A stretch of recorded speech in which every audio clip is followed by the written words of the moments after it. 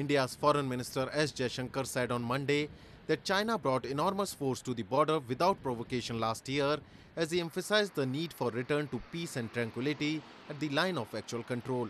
Jaishankar, speaking during a virtual national leadership conclave, pointed that for last 40 years India and China have had peace and tranquility on border and for diplomatic ties to normalize peace and stability is a necessary step. You know, the Chinese with no provocation brought an enormous force to the border as you all know. Now, the point is very, very simple. I mean, this is not rocket science.